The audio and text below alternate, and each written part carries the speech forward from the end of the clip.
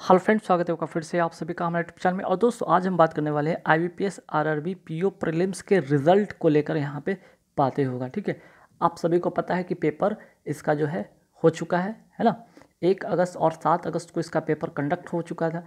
अब, अभी आज आपका है तेरह तारीख है, ठीक है? और लगभग एक वन वीक गुजरने को है। और ऐसे में रिज़ल्ट कब तक आएँगे? जिनका पेपर बहुत अच्छा गया, उनको मेंस का पेपर प्रिपरेशन करने चाहिए।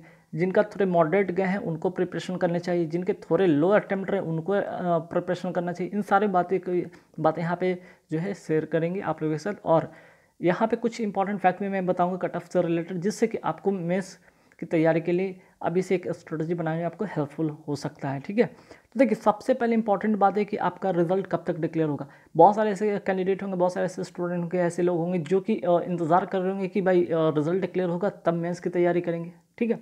वो बिल्कुल गलत है। जिनका भी अच्छा अटैम्प्ट रहा है, जिनका मॉडरेट अटैम्प्ट रहा है मीन्स एवरेज अटैम्प्ट रहा है, ठीक है?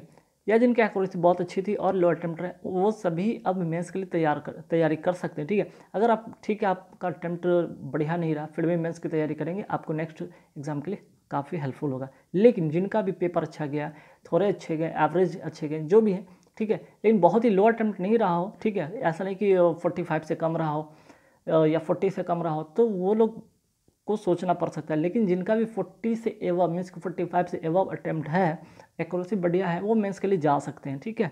तो इसी बारे में, इस वीडियो में बात करेंगे। सबसे पहले हम रिज़ल्ट के बारे में बात करेंगे कि रिज़ल्ट कब तक डिक्लेयर होगा प्रीलिम्स का। तो देखिए, अगर हम बात करें कि रिज़ल्ट डिक्लेरेशन का, ये दो सेप्ट दो सेप्टेम्बर तक इसका जो है रिज़ल्ट डिक्लेयर होने की पूरी पूरी संभावना, ठीक है?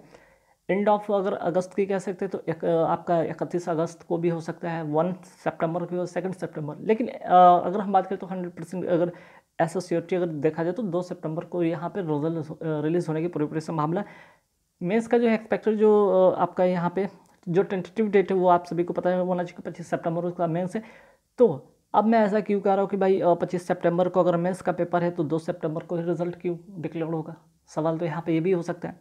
देखिए ये जो यहाँ पे मैं बताने का जो यहाँ पे जो मेरा बेस है, वो है प्रीवियस ईयर का जो रिज़ल्ट डिक्लेरेशन और आपका यहाँ पे मेंस पेपर के जो डिफरेंस है, जो गैप है, उन्हीं को, उन्हीं के आधार पर मैं यहाँ पे बताने की कोशिश करूँ अगर आप अब 2018 का देख सकते हैं कि सात सितंबर को प्रीलिम्स का रिज़ल्ट डिक्लेयर हुआ और तीस सितंबर को इसका मेंस पेपर होता है, ठीक है? तो गैप काफ़ी कम है मीन्स की twenty third twenty three days का डिफरेंस है है ना? अगर 2019 की बात करें तो 16 सितंबर को प्रीलिम्स होता है, तेरह अक्टूबर को। तो देखिए यहाँ पे क्या होता है सोलह से दो हज़ार उन्नीस की बात करते हैं तो सोलह सितंबर को प्रीलिम्स होता है और तेरह अक्टूबर को यहाँ पे आपका मेंस का, का पेपर यहाँ पे होता है। कुल मिलाकर यहाँ पे भी देखते हैं ट्वेंटी सिक्स डेज़ का गैप होता है। तो ट्वेंटी थर्ड और ट्वेंटी सिक्स ठीक ट्वेंटी थ्री ट्वेंटी सिक्स के अगर देखा जाए तो ये कुल मिलाकर चौबीस से पच्चीस दिन के डिफरेंसेस होते थे। तो चौबीस से डिफरेंस अगर पच्चीस या तेईस, चौबीस, पच्चीस का डिफरेंस माना जाए तो यहाँ पे कहीं ना कहीं दो सितंबर को रिज़ल्ट डिक्लेयर होने की पूरी समय ये तो मान के चले कि हंड्रेड परसेंट आपका जो है दो सितंबर तक तो रिज़ल्ट डिक्लेयर हो ही जाएगा, याद रखिएगा ठीक है? क्योंकि इसके बाद मेंस के लिए आपको कम से कम तेईस, चौबीस से पच्चीस दिन समय मिलती, इस हिसाब से दो तारीख तक डिक्लेयर होने के पूरी पूरी हंड्रेड चांसेस है, ठीक है? तो ऐसे में आप क्या कर सकते हैं? वन वीक गुजर चुका है। मेंस की तैयारी करें या ना करें? करें हंड्रेड परसेंट करें। कौन लोग कर सकते हैं? जिनका अटैम्प्ट अगर फोर्टी फाइव तक रहा है वो सभी कर सकते हैं। विद एक्यूरेसी हंड्रेड परसेंट है ना? With accuracy hundred percent forty five attempt आप जा सकते हैं मेंस के लिए। अब यहाँ पे हम बात करेंगे आ, क्या रह सकता है? एक्सपेक्टेड कट ऑफ़ क्या रह सकता है? बहुत सारे स्टूडेंट के मन में सवाल है बहुत सारे कैंडिडेट के मन में सवाल है बहुत सारे फ्रेंड के मन में एक सवाल है कि एक्सपेक्टेड कट ऑफ़ क्या रह सकता है? तो मेरे अकॉर्डिंग जो कट ऑफ़ रह सकता है, आप अपना भी ओवरव्यू देख सकते हैं, आप अपना भी यहाँ पे जो भी दिमाग में है कि हाँ भाई एक्सपेक्ट कट ऑफ़ ये हो सकता है, आप कमेंट बॉक्स में कमेंट कर सकते हैं। लेकिन यहाँ पे जो भी मैं कट ऑफ़ यहाँ पे बताने वाला वो ओवरऑल स्टेट की अगर हम बात करें तो कुछ स्टेट को छोड़कर जिनका वैकेंसीज काफ़ी कम है, वहाँ पे थोड़े कट ऑफ़ ज़्यादा जा सकते हैं। मीन्स कि एक दो नंबर इससे ज़्यादा रह सकते वो ऐसा नहीं कि आपका 55 क्रॉस चला जाएगा 55 से लेकिन नीचे जाएगा और बहुत हाई कट ऑफ़ भी जाता है, कुछ स्टेट का जो वैकेंसीज कम है। लेकिन बहुत सारे ऐसे स्टेट है जहाँ पे वैकेंसीज ठीक ठाक है, वहाँ पे जो कट ऑफ़ जो रहेगा, चाहे अगर हम बात कर लेते हैं यहाँ पे यूपी की बात कर लें एम की बात कर लें आपका जो है बिहार हो गया, है ना? तो कुछ ऐसे स्टेट हैं जहाँ का जो है कट ऑफ़ कम रह सकता है, चाहे वो वेस्ट बंगाल की बात करें, तमिलनाडु की बात करें, है ना? या यहाँ पे अगर हम बात करें तेलंगाना की बात करें तो कुछ स्टेट ऐसे हैं जहाँ पे आपका, या महाराष्ट्र की बात करें, झारखंड की बात कर ले, बहुत सारे जम्मू कश्मीर की बात करें तो बहुत सारे ऐसे स्टेट जहाँ पे कट ऑफ़ इस तरह के सिनेरियो देखने को बने कुछ एक आध दो स्टेट या तीन स्टेट ऐसे जहाँ कट ऑफ़ ज़्यादा जा सकते हैं, वहाँ पे जो वैकेंसीज कम होने के कारण, ठीक है? तो ये चीज़ होगा कि नॉन जनरल कैटेगरी का कट ऑफ़ क्या आ सकता है भाई? तो देखिए, जनरल कैटेगरी का जो कट ऑफ़ गिरेगा वो फोर्टी फोर, सेवन से फोर्टी नाइन के आसपास में रहेगा। फोर्टी, फिफ्टी मुझे नहीं लगता क्रॉस करेगा, ठीक है? ई डब्ल्यू एस की बात करें तो फोर्टी फाइव से फोर्टी सिक्स के आसपास में कट ऑफ़ रहने की पूरी पूरी संभावना है। वही ओ बी सी की बात करें तो फोर्टी थ्री से फोर्टी फाइव के आसपास में कट ऑफ़ रह सकता है। एस एस टी की बात करें तो फोर्टी वन से फोर्टी थ्री के आसपास में कट ऑफ़ रह सकता है।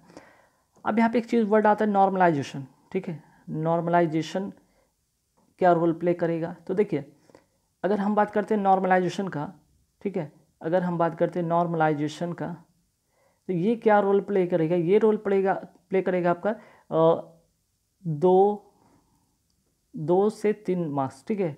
दो से तीन मार्क्स या चार मार्क्स बढ़ाने में हेल्पफुल हो सकता है। बहुत लोगों तो ऐसे, कुछ ऐसे स्टूडेंट भी थे लास्ट ईयर की जिनका जो है नॉर्मलाइजेशन में आपको फाइव से सिक्स मार्क्स भी बढ़े हैं तो ऐसा हो सकता है, ठीक है? तो जिनके भी कट अटैम्प्ट कम रहे हैं, ठीक है, ऐसा नहीं कि अगर जिनका फोर्टी टू भी अटैम्प्ट रहे हंड्रेड परसेंट एक्यूरेसी वो भी जा सकते हैं मेंस के लिए क्योंकि उनका नॉर्मलाइजेशन में अगर कहीं चार से पाँच मार्क्स बढ़ जाते हैं तो वो कट ऑफ़ क्लियर कर जाएँगे, ठीक है?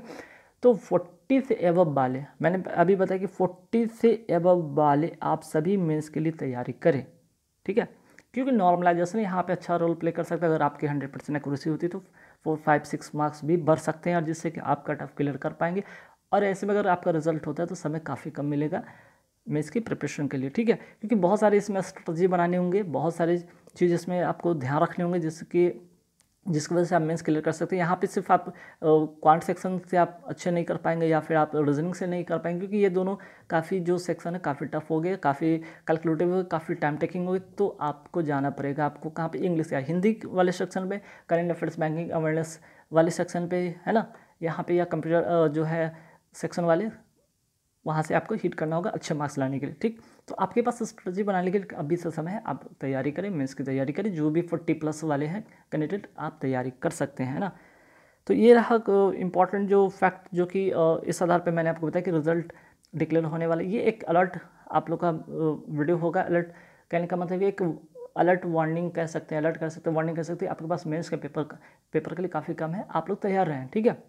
इस वीडियो का बनाने के पीछे मकसद है कि आप अलर्ट हो जाएँ, ठीक है? बहुत सारे कैंडिडेट ऐसे होंगे कि पेपर देने के बाद थोड़े रिलैक्स होंगे कि नहीं भाई, अभी तो ठीक है ना पेपर देंगे जब मैं इसका जब वो रिज़ल्ट आ जाएगा तो ऐसे, बहुत सारे ऐसे स्टूडेंट यार जागो, ठीक है? सोना नहीं, जागना है और बेस्ट करना है क्योंकि इसके बाद I upcoming I B P S P O आ रहा है, आपका S B I P O इस मंथ के एंड तक इसकी वैकेंसी रिलीज़ होने की पूरी संभावना है, ठीक है? और I B P S P P O की अगर बात करते हो तो इस वीक ही इसका जो है नोटिफिकेशन देखने को आपको बन सकता है। हालाँकि इस पर मैं वीडियो बना के ज़रूर डालूँगा, जिससे कि आप लोग को इससे एक बेनिफिट होगा कि आप इसके लिए क्या स्ट्रेटजी कर सकते तैयारी, ठीक है? तो कहीं इस वीडियो में सारी बातें लगभग हो चुकी है और कुछ खास तो इसमें बताना नहीं था। बस इस वीडियो में बस इतना ही था कि आप लोग अवेयर रहें। रिज़ल्ट आपको बहुत ही जल्द यहाँ पे देखने को बन सकता है। देखने को बन सकता है कि आप सभी को पता होना चाहिए कि दो सितंबर तक ही आपका रिज़ल्ट डिक्लेयर हो जाएगा। तो आप अपने प्रिपरेशन के लिए स्ट्रेटजी बनाएँ, ठीक है? कोई भी डाउट है, आप इससे रिगार्डिंग आप पूछ सकते हैं, ठीक है? कमेंट बॉक्स में कमेंट करें। अच्छा आपके स्टेट से क्या कट ऑफ़ जा सकता है? ये भी बहुत सारे कैंडिडेट होंगे जिनका कट ऑफ़ हाई जा सकता है लो जा सकता है उनका स्टेट में। आप अपना भी कुछ जो है, बता सकते हैं कि आपके मन में क्या है, वहाँ पर क्या कट ऑफ़ जा सकता है, जिससे कि दूसरे को भी कुछ हेल्पफुल हो सके, ठीक है?